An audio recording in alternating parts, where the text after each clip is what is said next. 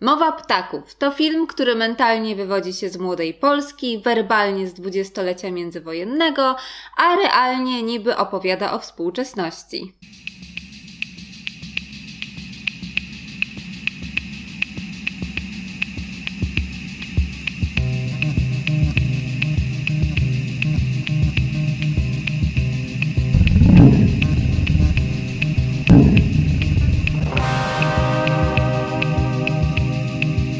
A teraz Mateusz spróbuje przedstawić zarys fabuły tego filmu. Mateuszu, zapraszamy, proszę spróbować. Jeśli pominiemy większość wydarzeń, które dzieje się w Mowie Ptaków, to możemy powiedzieć, że film ten opowiada o Marianie, poloniście, który zostaje zwolniony ze stanowiska nauczyciela języka polskiego w liceum i po tym zwolnieniu decyduje się spróbować napisać scenariusz filmowy, a także poukładać swoje relacje z ojcem. Niemniej jest to tylko wybiórczy opis fabuły, ponieważ nie zapominajmy, że w Mowie Ptaków mamy 10 innych y, postaci, które również przeżywają swoje szalone przygody, a wszystko jest po to, żeby nam coś powiedzieć chyba o współczesnej Polsce i współczesnym ciężkim życiu artysty. Oczywiście na wstępie warto powiedzieć kilka słów o genezie tego filmu. Mam wrażenie, że to jest ta najciekawsza część tego filmu, a mianowicie scenariusz Mowy Ptaków został napisany przez Andrzeja Żuławskiego nie wiadomo kiedy, aczkolwiek wiadomo, że został on podarowany jego synowi Ksaweremu tuż przed śmiercią. Dosłownie mówił o tym reżyser tego filmu, że kilka dni przed śmiercią Andrzej Żuławski rzucił mu ten scenariusz i powiedział: Masz, przeczytaj go albo nie, już mnie nic tam nie obchodzi. Możliwe, że jednak Andrzeja Żuławskiego trochę obchodził ten scenariusz, bo jak się później okazało, kolejny egzemplarz tego scenariusza miał producent, który po jakimś czasie się odezwał do Ksawerego Żuławskiego z pytaniem, czy jednak nie chciałby wyreżyserować filmu na podstawie scenariusza jego ojca. Co ciekawe, pierwotnie ten film miało wyreżyserować aż czterech reżyserów, każdy miał mieć swój segment, który jakoś interpretuje tą prozę tak naprawdę ojca, ponieważ ten scenariusz jest przebogaty dialogowo. Tymi reżyserami mieli być Ksawery Żuławski, oczywiście Jan Komasa, Jacek Borcuch i Piotr Kielar. Myślę, że ten pierwotny pomysł był arcyciekawy, jednak Jan Komasa i Jacek Borcuch wykruszyli się w czasie, ponieważ dni zdjęciowe Mowy Ptaków pokrywały się z ich filmami, więc w pełni stery przejął Ksawery Żuławski. Piotr Kielar co prawda miał 5 dni zdjęciowych, ale nie zostało to jakoś wyszczególnione w tym filmie, po prostu te sceny zostały wplecione w całość, więc tak naprawdę nie możemy powiedzieć, kiedy to jest twórczość Piotra Kielara, a kiedy Ksawerego Żuławskiego. I tak oto Ksawery Żuławski poszedł w ślady swojego ojca, który również miał za sobą epizod wyreżyserowania filmu na podstawie prozy swojej rodziny, tylko w tym przypadku był to stryjeczny dziadek, a mianowicie mamy tu na myśli na Srebrnym Globie. A czy mowa ptaków okazała się równie epokowa jak na Srebrnym Globie? Nie, chociaż trzeba przyznać, że wokół mowy ptaków wytworzyła się trochę taka atmosfera, że jest to dzieło wyjątkowe, niepokorne artystycznie oraz dzieło, które w pewien sposób chce się ocenzurować, czy też nie dopuścić do tego, e, żeby Głos prawdziwego artysty został usłyszany. Tak, bo mamy całą tą kontrowersję z tym, że Mowa Ptaków nie chciała być dopuszczona do głównego konkursu w tegorocznej Gdyni. Ostatecznie została dopuszczona.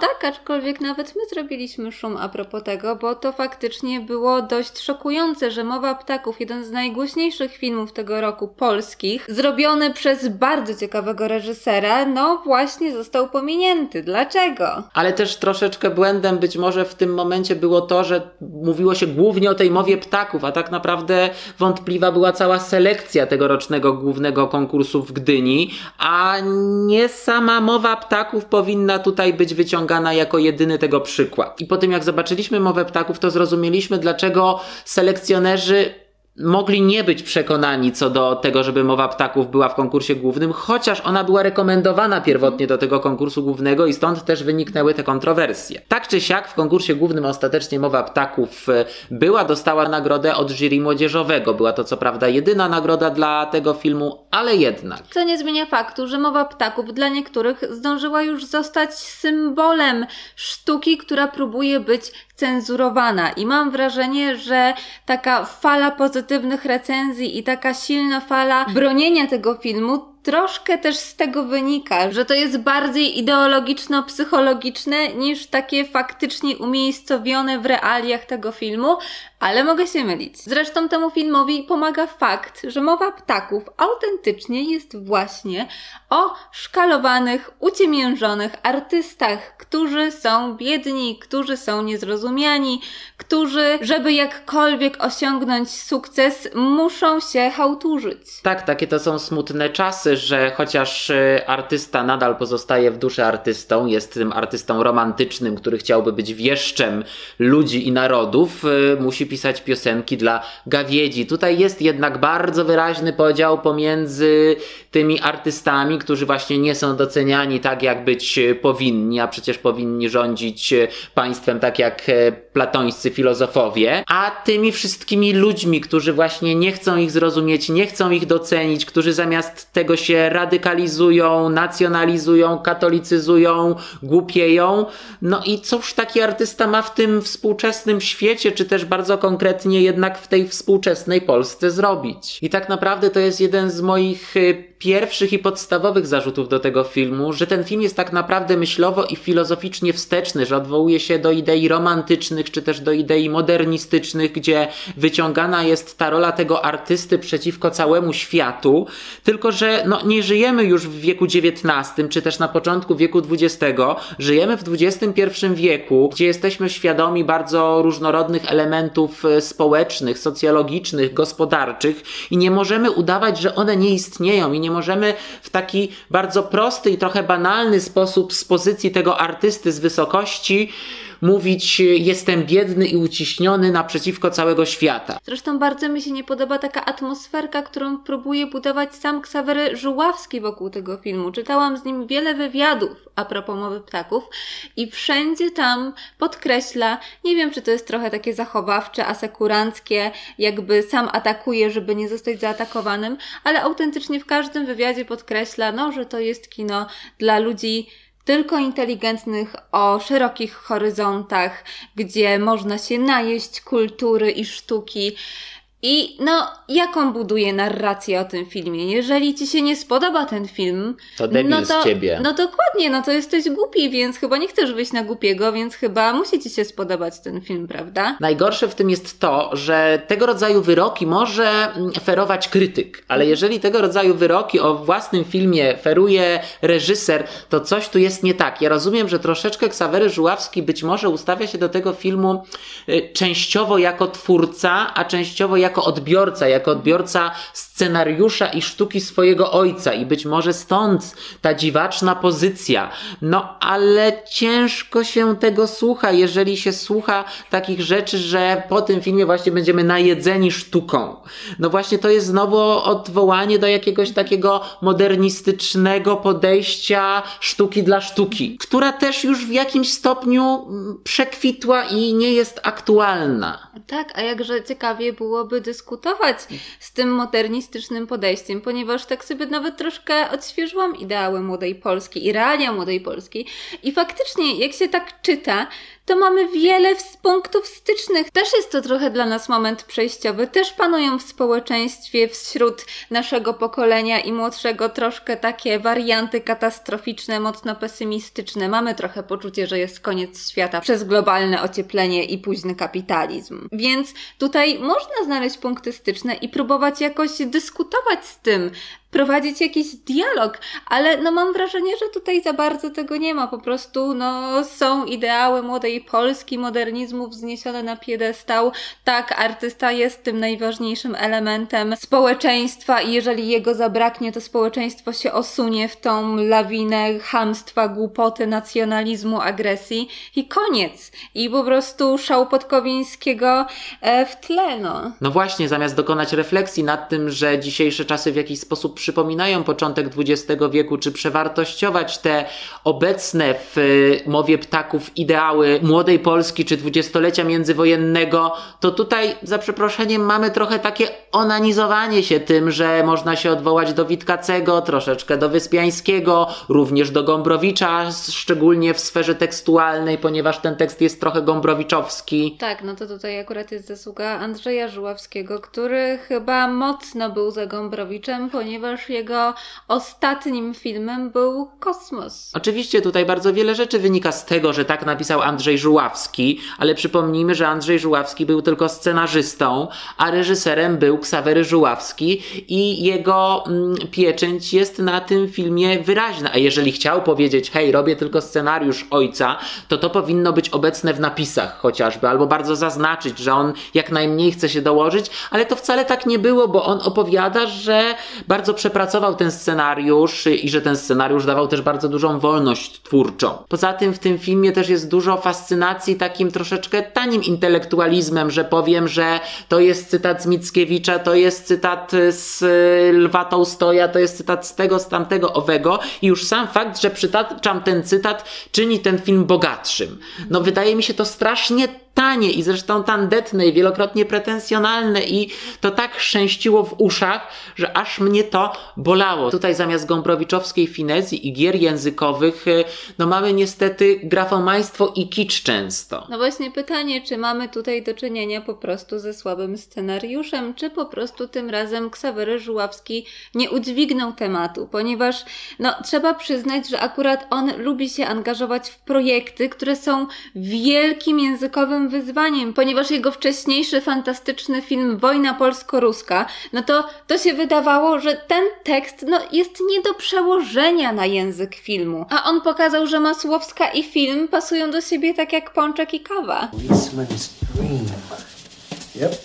No ale to jest pytanie, czy Żuławski z tekstem Gombrowicza poradziłby sobie jednak zupełnie inaczej niż z tekstem osoby, która no troszkę Gombrowicza chce udawać. W sumie sama odpowiedziałaś sobie na to pytanie już wcześniej, ponieważ zrobił fantastyczny film na podstawie trochę takiego współczesnego polskiego Gombrowicza, czyli Doroty Masłowskiej. Chociaż to już trochę czasu od tego filmu niestety minęło. A chyba Ksawery Żuławski trochę chciał, żeby Mowa Ptaków była takim najlepszym filmem Andrzeja Żuławskiego zrobionym po jego śmierci. Z tym, że jeżeli można znaleźć tak wiele odwołań w tym filmie, chociażby do szamanki, to ja nie wiem, czy można zrobić z tego najlepszy film Andrzeja Żuławskiego po jego śmierci. Ale Mowa Ptaków najlepsza jest właśnie wtedy, kiedy Ksawery Żuławski jawnie pokazuje, że ten film jest o relacji jego z jego ojcem. Kiedy główny bohater grany przez Sebastiana Fabiańskiego udaje się nawieźć do ojca, do jego dworku, gdzie spotyka się również ze swoim bratem i mamy tam trzech aktorów Fabiańskiego, Olbrychskiego i Chyrę i tworzy się taka intymna atmosfera, tworzy się rzeczywiście próba poukładania relacji ze swoim ojcem po jego śmierci. Jest tam chyba jedno z najgenialniejszych ujęć, jakie ostatnio widziałem w kinie, kiedy za pomocą bardzo mądrego ustawienia kamery i podobno jakiegoś takiego specyficznego ustawiania dodatkowych luster, o czym opowiadał Ksawery Żuławski, zostają na ekranie pokazani y, jednocześnie Sebastian Fabiański i Daniel Olbrychski, ale tak jakby nie do końca obok siebie siedzieli, jakby jeden siedział, a drugi był duchem, a duchem tutaj jest Daniel Olbrychski, czyli no to życie nagle przenosi się na ekran. Nagle Ksawery i Andrzej siedzą obok siebie, jeden żyje, a drugi już jest po śmierci. Zadziewa się przez chwilę magia. Magia dzieje się też wtedy, kiedy Ksawery próbuje opowiedzieć o swoim ojcu z jednej strony z odrobiną nostalgii, ale również z pewną zjadliwością. W tej sekwencji bierze udział również młoda dziewczyna, która chce zostać reżyserką i kiedy tylko poznaje ją postać Daniela Olbrychskiego, od razu ją bierze w swoje macki, pokazuje jej swoje filmy, adoruje ją, a wiemy, że Andrzej Żuławski znany był z tego, że lubił kobiety, powiem tak oględnie. I to są takie momenty chyba najlepsze w tym filmie i dlatego żałuję, że ten film zamiast być o tym uciśnionym artyście, nie jest jednak przede wszystkim o relacji pomiędzy ojcem a synem. Tak, było w tym filmie kilka scen, kiedy można było coś poczuć. Było kilka scen, kiedy można było się zaśmiać oraz kilka scen, kiedy można było się zachłysnąć dobrze, błyskotliwie poprowadzonym dialogiem. Jednak jak na ponad dwie godziny filmu było tego po prostu za mało, żeby się autentycznie zaangażować. Ja się od tego filmu odbiłam trochę jak od ściany. Bardzo mi ten film w tym pomógł już od pierwszych minut. No i przy tym filmie jakoś czuję taką silną potrzebę powiedzieć, że mi się nie podobał. Co pomyśli o tym Ksawery Żuławski, jego sprawa. Co nie zmienia faktu, że niewątpliwie jest to film inny I takie filmy inne, które chcą eksperymentować, z tego co mówił Ksawery Żuławski, dużo było spontaniczności na ekranie. Znalazło się w tym filmie nawet kilka scen zupełnie niezaplanowanych. Niewątpliwie Ksawery Żuławski ma swój głos, nawet jeżeli przesadnie się stara naśladować ojca, to nadal jest to kino bardzo autorskie, bardzo wyjątkowe i niewątpliwie takich projektów powinno powstawać więcej, które są niejakim wyzwaniem dla widza. Poza tym często tak jest, że właśnie takie projekty bardziej spontaniczne, tanie budżetowo, właśnie dlatego, że są spontaniczne, starające się aspirować do jakichś bardziej eksperymentalnych form, no często mają to do siebie, że się nie udają, że są nieprzyswajalne, ale to nie znaczy, że nie trzeba próbować, wręcz trzeba próbować jeszcze bardziej, bo kiedy coś takiego się uda, to zazwyczaj się udaje na wiele dekad i kolejne pokolenia mają co oglądać. Oczywiście dajcie znać, jak Wy odebraliście mowę ptaków, czy Wam się podobała, czy nie. I przypominamy, że mamy nowy miesiąc, a nowy miesiąc to nowa szansa na zostanie użytkownikiem miesiąca, którym można zostać, jeżeli naszym zdaniem pisało się w danym miesiącu najciekawsze, najbardziej wartościowe komentarze. Także zachęcamy. A od nas póki co to by było na tyle.